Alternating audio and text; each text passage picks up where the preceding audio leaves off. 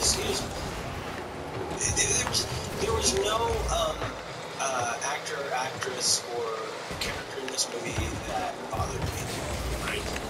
Um, other than other than Valak, who very much bothered me a lot. Yeah. The uh, the scenes that I laughed at in this movie were all Reggie scenes. There's a couple great moments. He's a he's attacked in the cemetery, the poorly laid out cemetery. so that's another thing in, in horror movies. The creepiest cemeteries in the world. Whoever whoever plans cemeteries for horror movies um, does not have what do you call them? Chalk lines. Yeah, they yeah it's They just like let's just put them over there. that They just like uh, chuck a body somewhere. the crucifix delivery man shows up and he's like, "Hey, where would you like these crucifixes?" And and the guy in just charge of generally over there. the guy in charge of it is like, "What is it on like a dump uh, like a dump cart? Like, can you just dump it out on the ground?" And he's like, "Well, yeah, but if you would like to, he's just dump it, just just just crap all over this place. You know, there's just just crucifixes. There was more crucifixes in this movie than I've ever seen in any movie." Yeah, This movie was crucifixion. It, they were they were everywhere, and they didn't do any good. It's like fucking crosses everywhere. Yeah. He Frenchie says that the townsfolk says that the crosses in the cemetery around keep the evil in, not out. but obviously not. I mean, he lives in the town. Yeah. lives in the cemetery. Yeah. So, anyways, the, the moment that I loved is Frenchie is getting attacked by Valak, and is, scared to death, and the just at some point he picks up one of these crosses from the graveyard, and a Yeah. Comically large cross, and he just starts slowly backing out of the cemetery. Yeah, he grabs somebody's essentially someone's headstone, but it's it's made of wood, and he just like backs out. He's like, "Fuck this place! I got I got me across. I'm out." and it's so great. I mean, now that I think of it, that is so great that it could be improvised. Yeah. If he was in the scene, just take one of these props. I mean, if you think about it, that's shocking how easy it would be for him to just take one of these grave markers. Yeah. They're, you know, supposed to be permanent. Nothing in this place was terribly permanent. But yeah, they are supposed to be. And yeah. And, and it was hilarious. It worked very well. And, you know, I should mention. So I, I did go see this with my brother, and, and and I love watching movies with my brother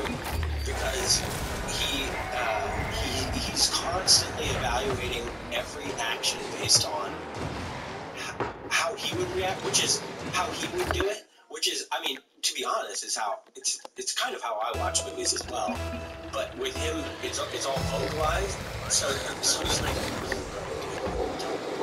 you saw a creepy person down that thing. Why are you going down thing? Don't go there. Too early, You man. saw a scary thing. Why are you going that way? And this movie was just laden with that shit. It was, it was a lot of very obvious pulls for the characters, right? It's like here's a fish hook, bite it, and then they bite it, and then they're dragged slowly towards whatever the spooky thing is, and we're like, don't, don't go down there, don't go down there. Yeah, you could just avoid this whole thing if you just didn't do that. Yeah, for example, throughout most of the movie, they're all separated. The Frenchie, the priest, and and Sister Irene Yeah. are separated. And then some another point, one. That it's like, don't separate. yeah, they they eventually get all together and they okay, stronger together. Now we can face this.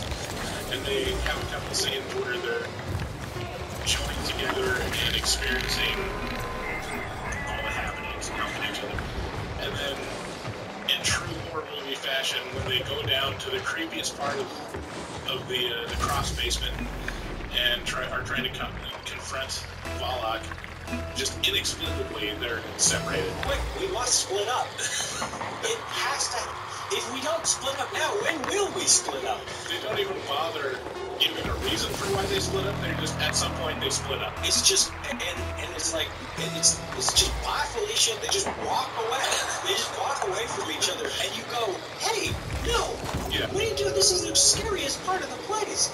And they're like, all right, well I'm gonna go this. They don't even say I'm gonna go this way. They just walk away from each other on screen. Walk away from each other. It's like, what? Hey, It's it's uh I don't know. It's an interesting tactic because the the alternative is the horror movie trope of we gotta split up so we can find it quicker. yeah, it's better that they didn't say, let's split up now.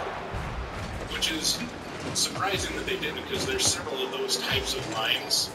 There's a line by Sister Irene where she says, let me find it. Wrote it down. It? Oh, we need to find the portal and seal it. it was like, okay, it- we, we're on board. You've moved it along quite sufficient. Right. I imagine James Wan, while he's writing the script of this, just saying, how can I get them to convey that they need to find the portal and seal it? I know. I'll have her say, we need to find the portal and seal it. Oh, that's brilliant! Way to go. So, uh, yeah, um, a, a, a little bit of backstory. So the the uh, sister Irene and Father what was the father's name? Father Burke is called by the Vatican to take Sister Irene with him. He is told she's familiar with the territory, and then he meets Sister Irene and he says, "They said you're familiar with the territory." You been to Romania much? She's like, nah, dog, I've never been there, bro. And then instead of asking a follow up question like, what do you think they meant by that? He's just He's like, like, I'm sure they know. it's, you know, The Vatican doesn't make mistakes. God works in mysterious ways. I mean, he, he basically says, well, the Vatican has its reasons for everything that it does, so I'm sure that you'll be useful. All right, so that's the extent of your conversation. Let's go. Time to go to Romania, Mhm. which is no small, small undertaking. It's like several plane rides, and then a horse-drawn carriage ride, and then a good hike, and then then you're in hell. Um, okay, so they get to the convent. They're greeted by a super creepy and croaking Mother Superior that you can't see her face at all or anything because she it covered. That was effective. She was upsetting. Yeah. Yeah. I, I didn't like being around her. I didn't like the feel that she was just places there, you know, that she was just kind of there. And like they'd, they'd be walking through someplace being like, hello? Hey, hello? Is anybody here? Anybody? And then they just keep walking and then she'd be like, hey. And be like, oh. Yeah, I mean, the, the Mother Superior that was outside the gate to greet them, or she was just in some kind of weird throne chair Yeah. facing the door, like not even, not even facing out, Yeah, like- facing inward towards the convent. So they, they pass her, and then she's like, who goes there? I'm like, oh, God. Jesus.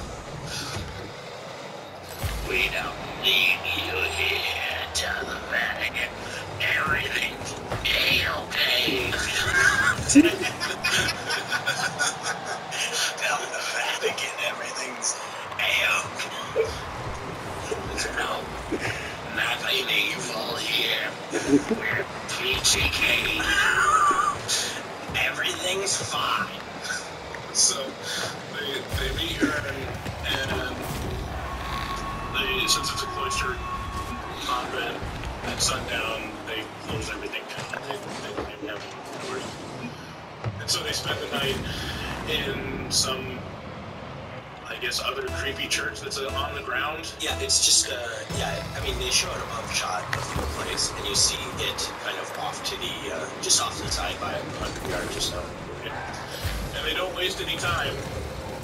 Almost immediately they get attacked by the demon, Father Burke.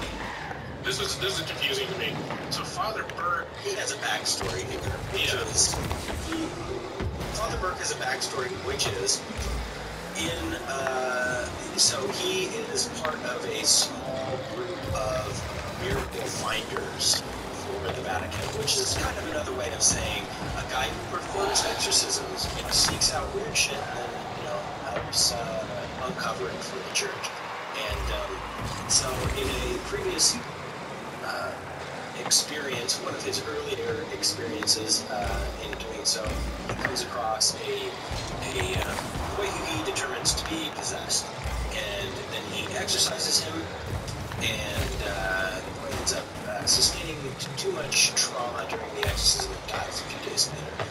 Well, this boy comes back in this movie to haunt him, which I don't know why why he does that. well, in the end, it's just Valak using their own fears against them. Okay, so this this so then in that case this is starting to make sense because in The Conjuring 2, Valak used the Crooked Man to who is another kind of like spirit as like a uh, as like a um, what do you what do you call something that is that like a scapegoat, right?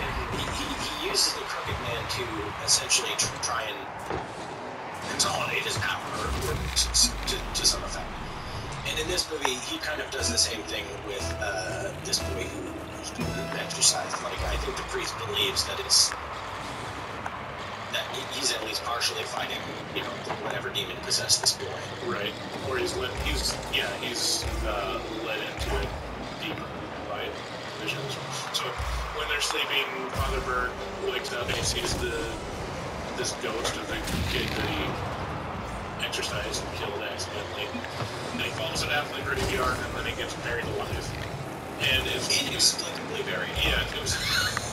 he, he gets scared, falls into a grave, and now he's covered with dirt and grass instantly. Yeah. And it was very confusing because it was a surreal moment where, yes, all of a sudden it is completely covered with ground and turf, like it wasn't disturbed at all. And then, uh, fa- then Sister Irene wakes up. So to me, I was It's magic. It's magic. well, I was thinking, oh, it's her dream. Because it does a hard cut to her waking up. I was like, oh. oh, It is definitely. she's just having a vision because she's a visionary. And then she goes out and no, he's actually buried alive. Yeah, It's actually happening. it is a jarring part of the movie. It is it is jarring because it's it, there, there might be a better way to do that, right? There might be a better way to to, to execute him falling into a and, and looking like it's 100 years old. Oh my god. Y'all choking hard right now. There might be a better way to do it. Right? If they had not, so this is the better way.